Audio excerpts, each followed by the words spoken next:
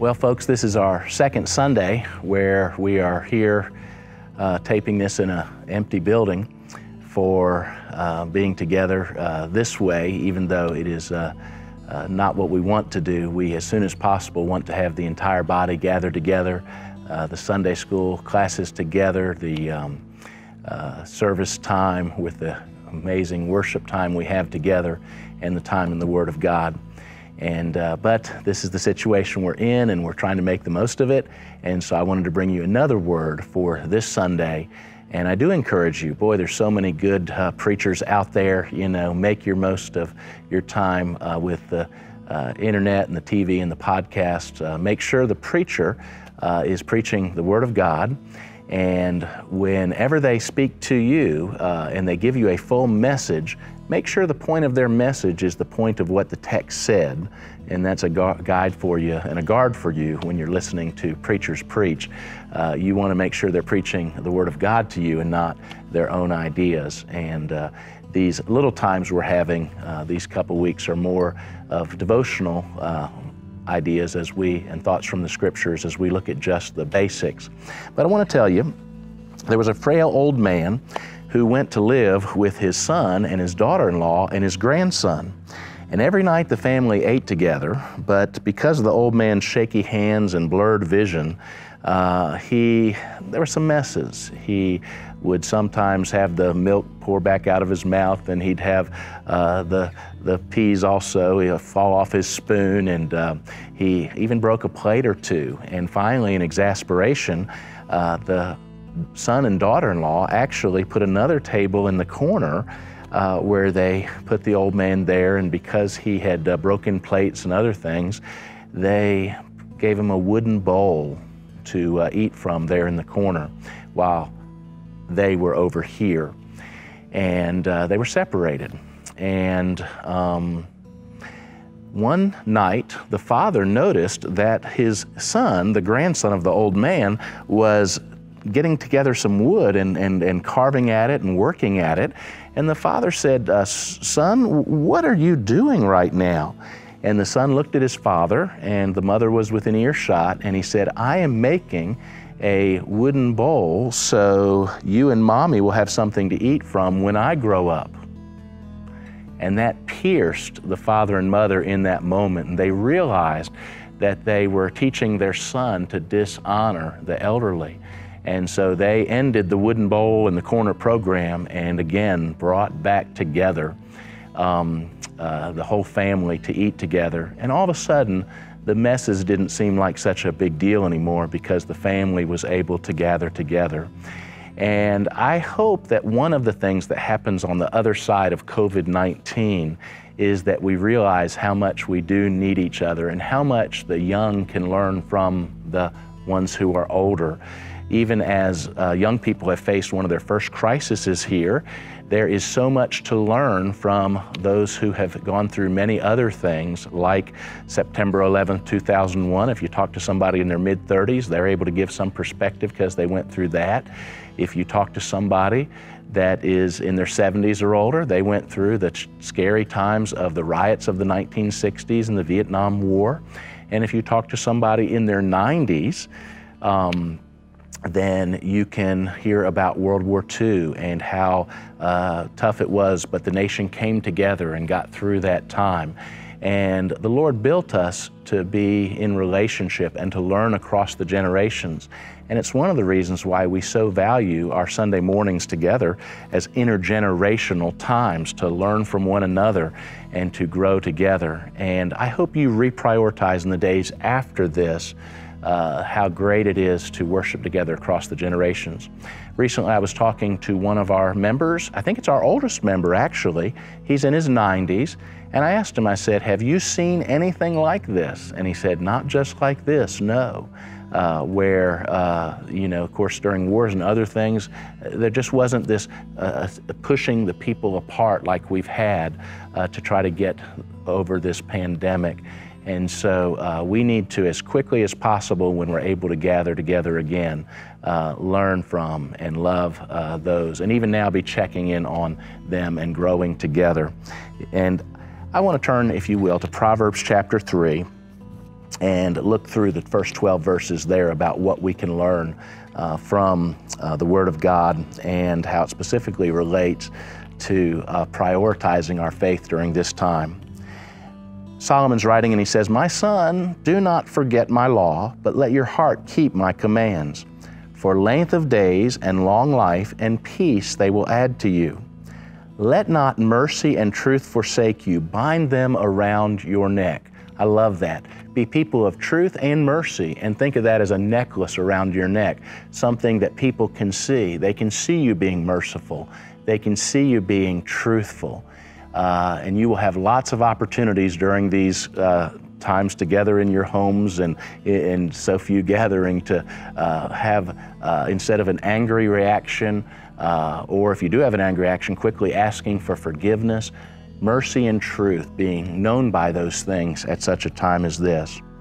Write them on the tablet of your heart, and so find favor and high esteem in the sight of God and man. Uh, a gentle answer turns away wrath, right? That will be true as you talk to your fellow man during this time, and it will be noticed in heaven.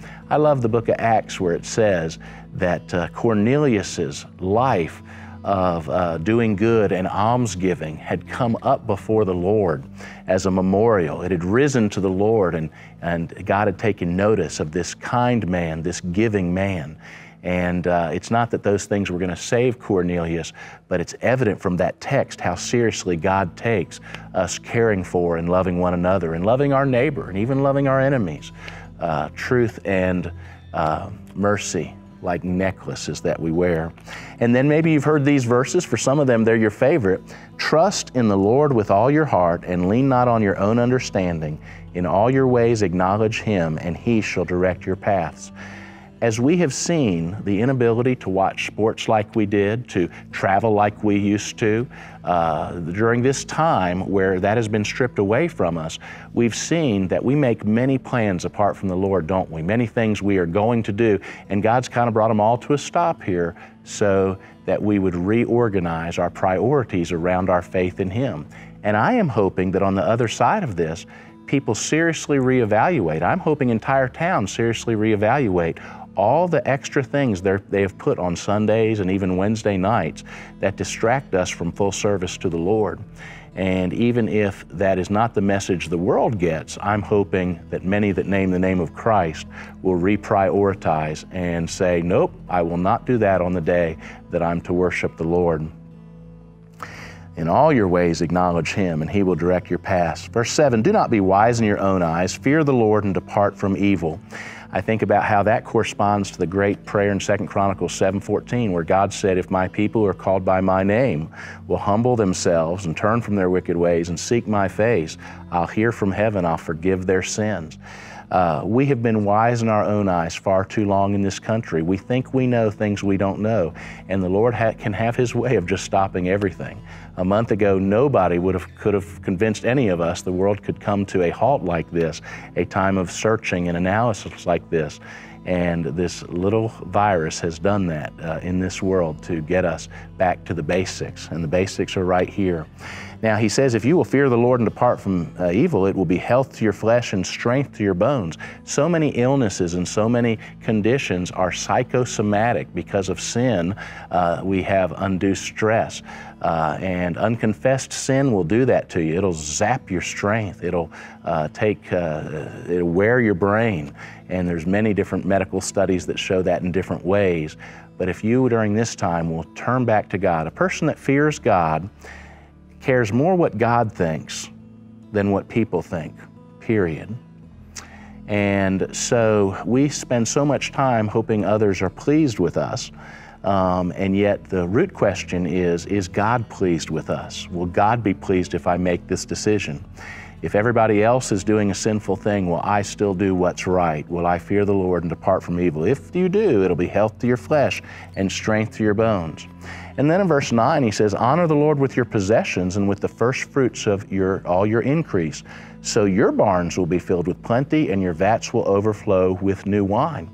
I hope this is a time where you're considering your financial priorities as well.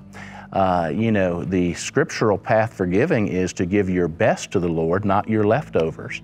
And so I love what Pastor Lamar used to teach. I teach it too that uh, with your paychecks, you ought to put 10% tithe to the Lord right off the top, and you ought to put 10% in savings and later investments. And if you can live on 80% in a world that lives on 110%, then you will be well set for future crises. And this is a time to make sure those are your kind of commitments. Verse 11 My son, do not despise the chastening of the Lord, nor detest his correction. For whom the Lord loves, he corrects, just as a father the son in whom he delights.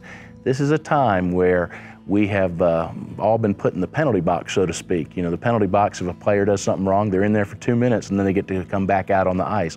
Hopefully, it'll end very soon and we'll be able to resume a normal uh, path of living. But I hope for many of us, it's a new normal that goes back to the priorities God would have on our lives, putting Him first, trusting Him, growing in Him.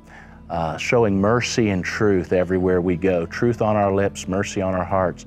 I think about how um, Micah the prophet uh, says, What does the Lord require of you, O man, but to do good, to do justly, to love mercy, and to walk humbly with your God? Proverbs has that kind of wisdom too.